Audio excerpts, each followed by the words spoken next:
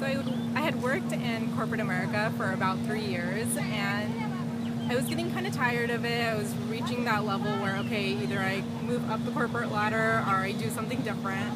And I just started exploring different um, routes I could take. I kind of had this idea in my mind that, okay, I want to come to India. I did a lot of volunteering in New York and California, so I wanted to maybe work a nonprofit, but I kind of was more interested in more sustainable approach to that. So um, this fellowship came up, and I don't know. I just felt like, okay, you know what? This is something I have to do. Like I can keep putting this off year after year. Like you know, next year I'll try something different. Well, maybe I'll get a raise this year, or maybe I'll move up the corporate ladder. But I just thought, you know what?